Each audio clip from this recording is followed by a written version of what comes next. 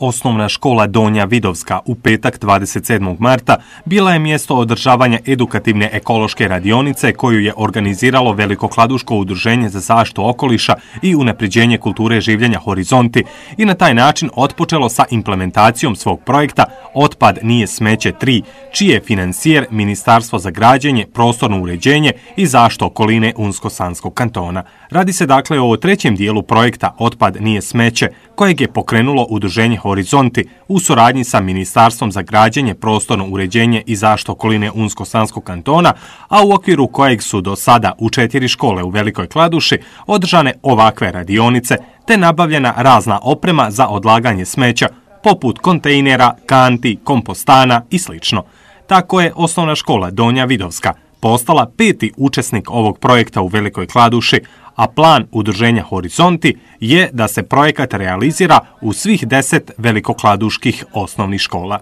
Radionici na kojoj je predstavljen projekat Otpad nije smeće, koji ima za cilj podizanje ekološke svijesti i kulture pravilnog zbrinjavanja otpada za školsku djecu i građanstvo, pristovali su učenici 7., 8. i 9. razreda osnovne škole Donja Vidovska – Na radionici je Jasna Purić, predavač i predstavnica udruženja Horizonti, govorila o ekološkoj svijesti čovjeka, koje su razlike između otpada i smeća, kako nastaje otpad, kako trebamo da odvajamo prikupljeni otpad, o reciklaži, te kako možemo doprinijeti izbjegavanju i smanjivanju otpada na našim prostorima pa i šire.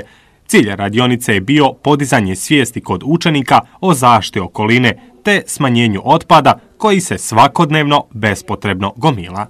Pa ja moram da kažem da je ovo već peta škola u kojoj mi realiziramo e, projekat Otpad nije smeće. Ovo je treća škola koja, e, koja ide kroz ekološke naknade od Ministarstva za građenje Unsko-Sadskog kantona.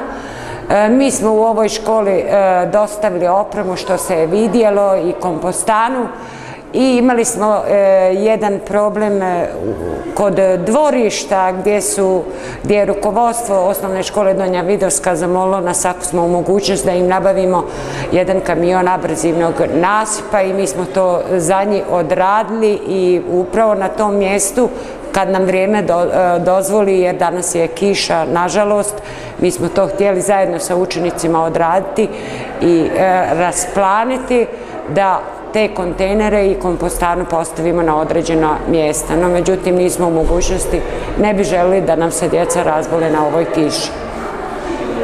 To će biti odrađeno dok dođe ljepše vrijeme. Šta su naučili na ovoj radionici, rekli su sami učenici osnovne škole Donja Vidovska. Ja zovem Emra Delanović, idemo u semi razred, e, idemo u e, osnovnu školu Donja Vidovska. Dobro. Emra, što, što si danas uočio? Što smo radili danas? Šta smo rekli za prirodu? E, da bi da tražimo još, da tražimo još načina kako bi je sačuvali uh, od uh, previše smeća. Znači, od, od zagađenja, tako. Dobro. Kako ti se učinila rad na radionici? Je li ti bilo zanimljivo? Jes. Jesi naučio nešto novo? Jesam. Način kako se može reciklirati. Dobro, redu. A, ja sam Majla Babić, idem u sedmi razred. Jesi član ekološke sekcije? Jesam. Jesi, dobro. A reci, jesi danas nešto saznala novo što nisi ranije? Jesam. Što ti je bilo posebno zanimljivo? Uh, Od svega što smo pričali, što ti je bilo posebno? pa, mor, da, moramo uh, manje uh, otpada proizvoditi da bi uh, sačuvali prirodu i, I ono što proizvodi, i da? da moramo odlagati na prava mjesta. Dobro. Kako se ti zoveš? A, Ja sam Mina Zahirović, idem u sedmi razred osnovne škole Dunja Vidovska i učenik sam e, ekološke sekcije.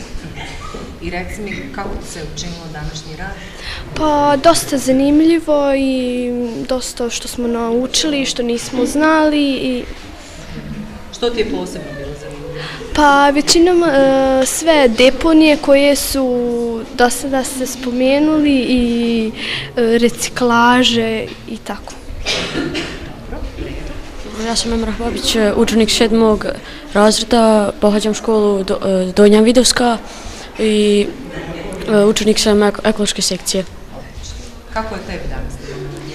Zanim, bilo je zanimljivo i naučio sam nešto novo, nekih pravila prirode koje se nisam pridržavao. I što, što, e, kako, kako, kako ćeš ti kasnije, nakon ove radionice, ćeš li ponijeti ta znanja, Da, proširiti proširiti sa, sa drugim djecom i drugim ljudima.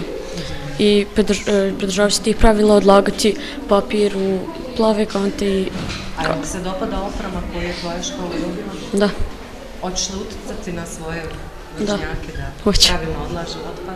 hoću. Naš projekat je pravilan način da učestvujemo u promicanju aktivnosti koje djeluju u smjeru zašte okoliša i da pokažemo da otpad nije smeće, već sirovina od koje se mogu napraviti korisni upotrebni predmeti, poruka je upućena sa ove radionice. Dodajmo i to da će Udruženje Horizonti od grantovskih sredstava iz općine Velika Kladuša osnovnoj školi Todorovo uskoro nabaviti i donirati opremu za odlaganje smeća.